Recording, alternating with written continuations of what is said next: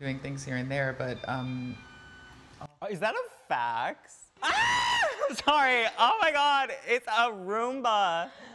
It was hiding under this bed the whole time. I think it should have disclosed its whereabouts. That was a little creepy.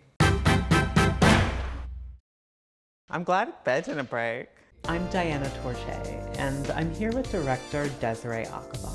Her new film, The Miseducation of Cameron Post, snatched the Grand Jury Prize at Sundance and has been widely released to critical acclaim. I sat down to chat with Desiree about the film's exploration of gay conversion therapy, what it was like adapting the novel to film, as well as BoJack Horseman. The Miseducation of Cameron Post is about a teenage girl in 1993 who is lesbian, who's caught being lesbian, and because her parents are unfortunately dead and she lives with her evangelical aunt, she is subsequently sent to a conversion therapy camp where she has all kinds of coming of age experiences. all kinds. I wasn't interested in making a film about gay conversion therapy. I wanted to make a teen film in the vein of John Hughes and the mm-hmm. movies I loved growing up that spoke to me and spoke about that moment as a teenager that you realize that the adults in your life don't know what the fuck they're doing. And I'm really happy to shed light on gay conversion therapy. I have strong feelings against it.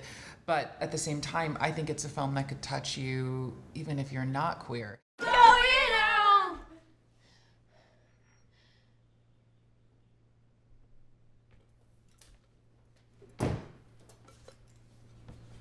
Back to work.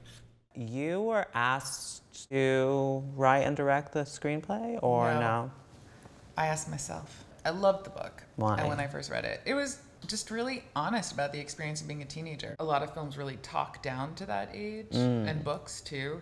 And when I read the book, I thought like, oh, this is really honest, and this is the only story I've ever read that felt so honest about being a teen, and then also growing up gay. So I shared it with my girlfriend at the time, and she uh, read it, loved it, and was like, you got to make this into a movie. That's awesome. I went to rehab as uh, in my 20s Mm-hmm. for an eating disorder, and I always wanted to make a film about that experience. And Does it feel what- like you have? Yeah. Yeah. To me, this film was a film about rehab. That that center was a weird uh, mix of rehab, boarding school, and jail. We have an art therapy scene that is entirely influenced by my hatred of art therapy. Let's see. Um, this woman riding a horse. She's you, galloping away from a past of gender confusion and, and into a bright future of opposite sex lovemaking. And uh, hold on, this cat, and this cat is the devil. Think of it as your past, the temptations and the dangers. And hey, how are you? Good work, Adam. Thank you.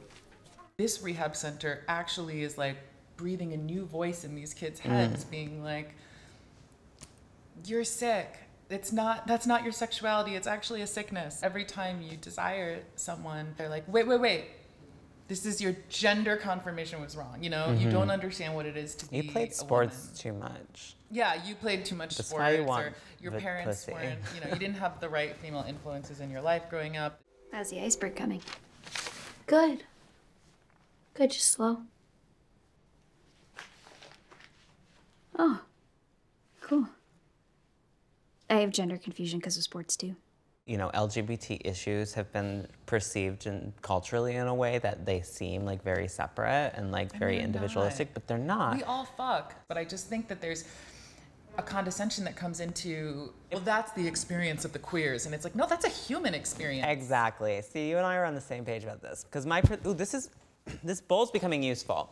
okay These, this is people, right? Okay, this person's gay, and this person is bisexual, and this person is a lesbian, mm-hmm. and this person is transgender. Mm-hmm. And then you're just like, okay, those people are all different because most of these people are not gay, lesbian, bisexual, or transgender, so they're in their own community. i also bet these fuckers feel Yes, like honey. crazy about their sexuality that there's something Me about too. their kink or their desire or the way that they love that makes them feel crazy and they're just not going to communicate and the thing about these people is like a lot of their time is spent self-identifying through who they fuck Because the because it's the most majority, defining factor of their gay life the only which is thing that makes sense uncool at about me same is my desire to have sex with other women as a woman.